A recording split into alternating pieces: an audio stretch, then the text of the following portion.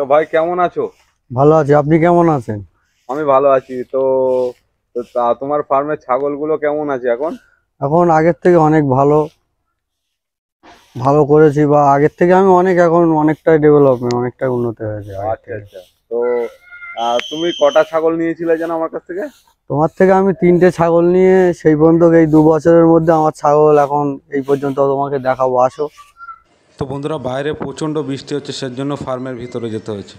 বাহ দারুণ ছাগল তো আমার কাছ থেকে তো তুমি ব্ল্যাক বেঙ্গল তিনটে না চারটে ছাগল নিয়েছিলে তারপরে এগুলো সব ক্রস করিয়েছো কোথা থেকে? এগুলো দাদা? আমি এগুলো আমার পাড়ায় একটা পাঠা ছিল সেই পাঠার থেকে আমি এগুলো ক্রস করিয়েছি। আর আমি আস্তে আস্তে ভাবছি যে এগুলো ক্রস করতে করতে এবার এই যে আগের যে ছাগলগুলো এগুলো তো আমার বিক্রি করে দিয়েছি দিয়ে এই ঘর করেছি। ওর থেকে ওই মা তিনটে আছে যে মা তিনটে নিয়েছিলাম এই একটা আছে আচ্ছা, আচ্ছা, আর এই একটা আছে। আমাদের থেকে এই ছাগলটা আর ওই লালটা নিয়েছিলেন। হ্যাঁ হ্যাঁ হ্যাঁ হ্যাঁ এইগুলো নিয়ে এবার এখান থেকে ছাগল বেচে আমি এই প্রায় পঁয়ত্রিশ হাজার টাকা দিয়ে একটা ঘর করেছি। আচ্ছা এই ঘরটা এই ছাগল মানে ফার্ম হ্যাঁ, আপনার ঘর ছিল না? না না না আমার আগে কোনো ঘর ছিল না আমি একটা। পেপারের ঘরে ছাগলগুলো রেখেছিলাম। তারপরে বুঝতেই পারছেন আগে দাদার ঘর ছিল না এখন সেই ছাগল পালন করে আজকে আবার একটা ঘরও বানিয়ে নিয়েছে কিছুদিন হচ্ছে।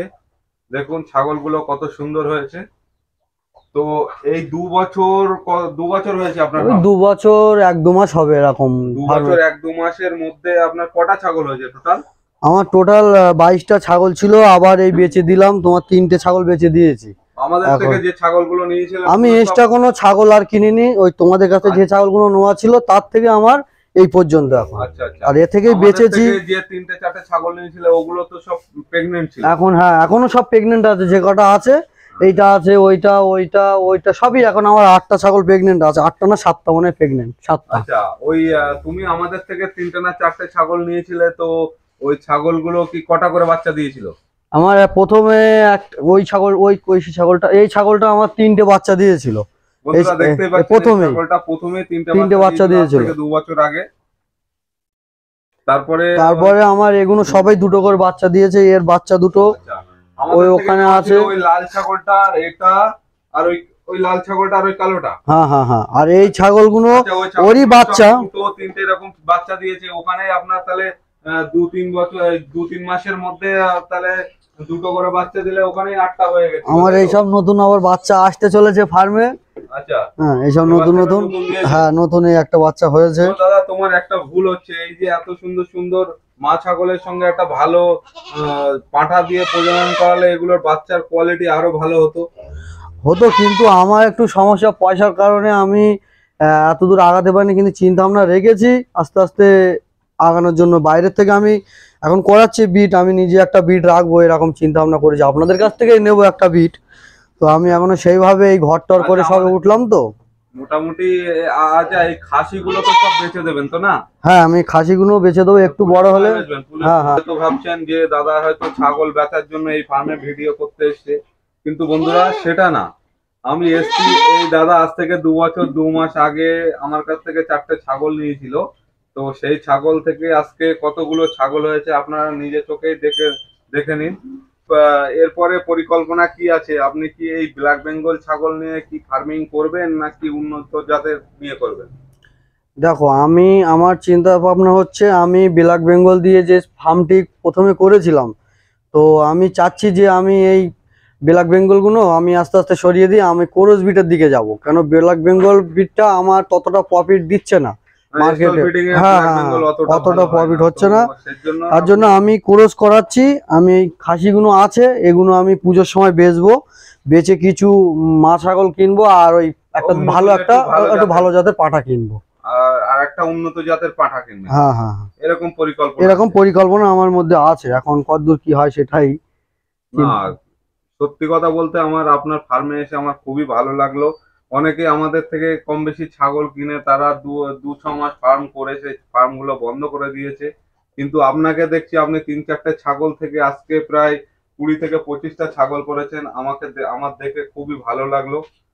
আমি এই ছাগলের কোনো এক্সট্রা এক টাকাও লাগাই না। আমি জাস্ট এই ছাগল বেচেই হ্যাঁ। এখান থেকে এই ঘর করেছি ওদের ঘর করেছি তারপর ওদের খাওয়া খরচা এখান থেকেই বার হয়ে যায় আমার। আর আর আপনি এর পাশাপাশি আমি আর পাশাপাশি আমি একটা কাজ করি।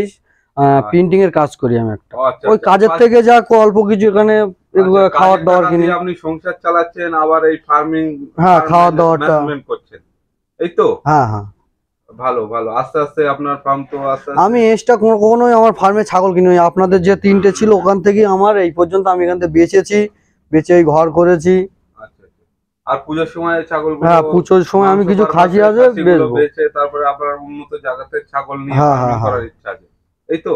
হ্যাঁ আমি আমি একটা ভালো জাতের একটা পাটা কিনবো কারণ আমার এখানে প্রায় কোরস হয়ে গেছে অল্প অল্প কিছু হ্যাঁ, বাকি আছে। আমাদের থেকে। ব্ল্যাক বেঙ্গল ছাগল নিয়ে আজকে দেখছি মোটামুটি ভালোই কোয়ালিটি ভালো হয়েছে আগের ছাড়া তো উন্নত জাতের পাঠা দিয়ে এগুলো ক্রস করালে আরও ভালো কোয়ালিটি হতো। কারণ পাড়া গ্রামের যেসব পাঠাগুলো আছে তাদের হচ্ছে হ্যাঁ, ওই পাঠার ছাগল কারণেই এই সমস্যা। করায় সেই কারণে বাচ্চার কোয়ালিটি অতটা ভালো হয় না। আপনার যদি নিজস্ব ফার্মে পাঠা থাকতো তাহলে হয়তো কোয়ালিটিটা আরও ভালো হতো তাই না? হ্যাঁ একদম একদম। আমার নিজস্ব থাকলে আরও কোয়ালিটি ভালো হতো কিন্তু আমি পাড়ায় যে একটা পাটা দিয়ে শুনে জানি যে দশটা বিট করা বেস্ট কিন্তু সেখানে বিট করা হ্যাঁ হ্যাঁ। কিন্তু সেখানে সে ছয় ছয় দিনে দেখাচ্ছে তাদের থেকে আমার বাচ্চাটার কতটা গ্রোথ হ্যাঁ, হবে? হ্যাঁ, সেই হিসাবে মোটামুটি ভালোই গ্রোথ আছে। তো আপনার ছাগলের কি খাওয়াচ্ছেন? আমি সকালে খাওয়াই আছে গমের ভুসি বিচুলি কাটা আর ওর সাথে সাথে আছে একটু খোল। আচ্ছা ওই যে ঘাসের মধ্যে কি খাওয়াচ্ছেন? ওই দাদার কাছ তোমার কাছ থেকে তো নিয়েছিলাম সেই সিওসিএন ফোর সেই ঘাসটা আমার লাগানো আছে। হ্যাঁ অজানা হাইব্রিড ঘাস লাগিয়েছি ওটা কেন বলো তো? লাগিয়েছি এই যে বর্ষার মধ্যে আমাদের জমিটা বুড়ে যায় এবার সেই কারণে আমরা সেইভাবে ঘাস ওখান থেকে পাই না। আচ্ছা। এবার এই বুড়ে গেলেও আমাদের কি হয় সেখান থেকে ঘাসটা আমাদের হয়ে যায়। ঘাসটা লাগিয়েও আপনার আরও সুবিধা হ্যাঁ, হবে। আমার সুবিধা হচ্ছে আর। ওই ঘাসটা ভালো প্রোডাকশন পাবে বর্ষার সময় আমার বর্ষাই সব থেকে সমস্যা হয় ঘাসের। কারণ ওই জমিতে তো সেইভাবে ঘাস পায় না এবার এই বর্ষার সময় এই ঘাসটা আমাদের যেমন সিও সিওসিএন স্মার্ট নেভিয়ার ওগুলো বর্ষাকালে প্রোডাকশন অতটা ভালো হয় না। সেই হিসাবে অজানা হাইব্রিড ঘাস। তো দাদা নতুন খামারিদের উদ্দেশ্যে কি বলছেন? আমার নতুন উদ্দেশ্য হলো নতুন যারা খামারি তাদের উদ্দেশ্যে আমি বলছি যে বেকার না থেকে যদি এরকম বাড়িতে দুটো একটা করে ছাগল কিনে যদি পোষা যায় হ্যাঁ। তো দেখবে বছর শেষে তাকে সেখান থেকে কিছু না কিছু তার ইনকাম আসবে। এবার সেই ইনকামে দিয়ে সংসারে কোথাও না কোথাও সেই টাকাটা কাজে লাগাতে পারবে। তাহলে আমাদের দেখো আমি এইটা ভেবেছি কি আমার ধরো এখন দশ হাজার টাকা লাগবে কেউ আমাকে ধার দেবে না বলো। এবার আমি এই যে একটা ছাগল যদি আমার দশ হাজার টাকা লাগে আমি একটা ছাগল বেচে দিয়ে আমার সেই কাজটা মিটিয়ে নিলাম। আবার যখন আমার টাকা আসবে তখন আমি আবার একটা ছাগল কিনে রাখলাম। তার জন্য বলি যে যদি টাকা থাকে তাহলে এগুলো এরকম করে রাখা অনেকটাই ভালো আমার তো মনে হয়। বন্ধুরা শুনতে পেলেন এই দাদার মুখ দিয়ে। তো বন্ধুরা আমার লাইফের এই প্রথম লোকের ফার্মের ভিডিও করা এই দাদার ফার্মে। তো ভিডিওটি কেমন হলো অবশ্যই কমেন্টের মাধ্যমে জানাবেন আর ভিডিওটি ভালো লাগলে অবশ্যই চ্যানেলটিকে সাবস্ক্রাইব করবেন। পাশে থাকবেন ধন্যবাদ।